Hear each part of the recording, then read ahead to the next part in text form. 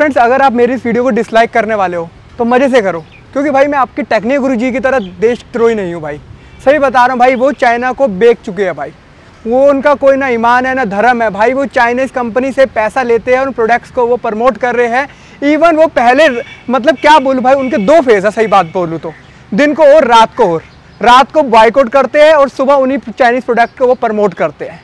यकीन नहीं हो रहा था आप उनके चैनल पर जाकर देखिए कितनी बार उन्होंने यही चीज़ करे। अभी भी रिसेंटली उन्होंने पोको और मोटो के और पता और वीवो के, इन तीनों फ़ोन को उन्होंने प्रमोट किया है और बाद में ये बोल रहे हैं कि भैया, अगर आप रात वाली वीडियो देखो उनकी तो भाई वो बॉयकआउट कर रहे हैं चाइनीज़ ऐप्स का। अब मुझे ये बताइए टेक्निक गुरु जी चाइनीज़ ऐप्स का तो आप बॉयकआउट कर रहे हो और चाइनीज़ प्रोडक्ट को आप सेल कर रहे हो, जबकि हमारे देश में सबको इस वक्त पता है कि भैया चाइनीज़ प्रोडक्ट का विरोध कर रहे हैं बॉयकआउट कर रहे हैं।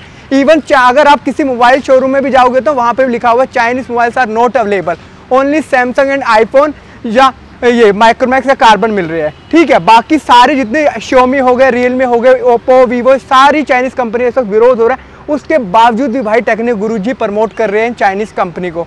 तो भैया, मैं गद्दार नहीं हूँ, सच बताऊँ, भाई, मैं अपने देश के लिए भले ही कुछ कर ना सका, मगर इन चीज़ों का विरोध तो कर ही सकता हूँ, मगर हमारे टेक्निक गुरु जी भाई मनी मेकिंग है। मतलब पैसों के लिए वो कोई सी भी हद तक जा सकते हैं। आप देख लीजिए, दिन और रात में फ़र्क उनकी वीडियो में। रात को बॉयकआउट होता है, जबकि अभी आपको पता है कि इंडिया में पहले 59 ऐप्स को बैन कर दिया गया था रातों रात मगर बाद में अब जो हमारे सोल्जर्स है, जो सैनिक है, उनमें 89 ऐप्स को बैन कर दिया गया। फेसबुक पबजी इंस्टाग्राम इन सबको मिलाकर, ठीक है? जो हमारे सोल्जर्स में इतना बैन कर दिया गया है मतलब चाइनीज़ ऐप्स का विरोध कर रहे हैं, ठीक है? हमारे सोल्जर हमें भी एकजुट होकर खड़ा होना चाहिए, हमें चाइनीज़ प्रोडक्ट को नहीं बाय करना चाहिए। ना प्रमोशन करना चाहिए उनका। मगर टेक्निकल गुरु जी को कोई फ़र्क नहीं पड़ता।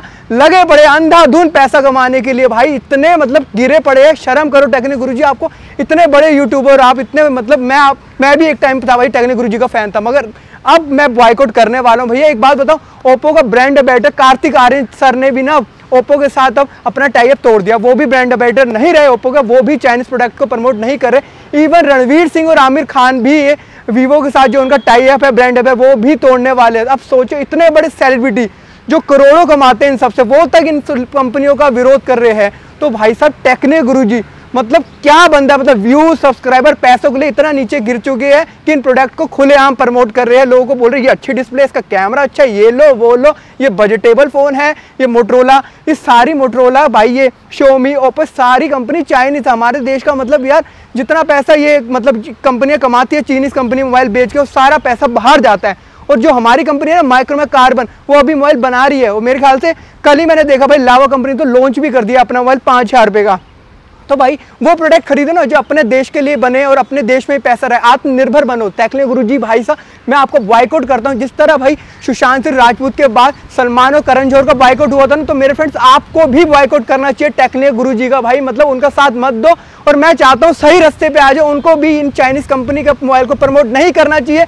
भाई, इतने बड़े यूट्यूबर हो, कुछ तो कम से कम शर्म करो यार, ऐसा तो मत करो। तो फ्रेंड्स अब आपको डिसाइड करना आपको क्या करना है? या तो बॉयकॉट करो या इनका साथ दो। भाई, मैं तो बॉयकॉट करने वाला हूँ। बॉयकॉट टेक्निकल गुरु जी सरेआम करूँगा, अपने ट्विटर पर भी डालूँगा इंस्टाग्राम पर भी डालूँगा और सरेआम बॉयकॉट करूँगा कि टेक्निकल गुरुजी को मतलब भाई राइट वे पे आ जाए। बस मैं यही चाहता